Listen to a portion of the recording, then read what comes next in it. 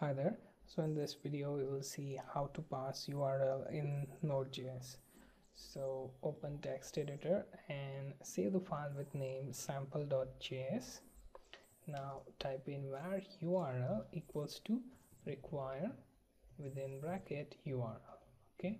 The next thing is var URL value and equals to let's say in dot wikipedia.org okay? The next thing is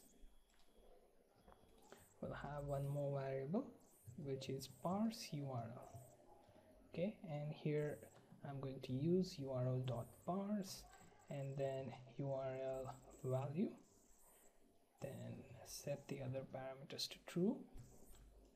And next thing is we are just going to print out values here href which is going to be let's say parse url dot href. Then console dot log. We are going to print out let's say protocol. Then type in parse url dot protocol okay. Next thing. Make sure that this is small so there should be no error.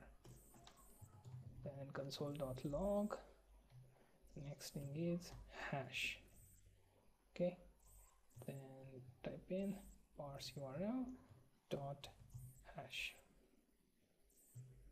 Okay. Now open command prompt and type in node sample.js and you will find that it is printing out our url protocol and hash equals to null.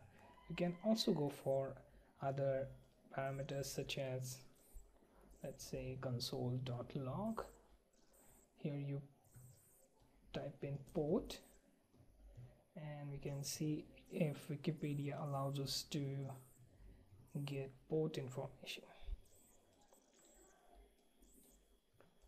okay now let's run the example and it is not sending us port and hash information so whenever you want to parse such url in node.js you call for url.parse where your url is going to be the one that you pass with URL value and rest of the attributes set to true. So this is our short video on how to parse URL in Node.js.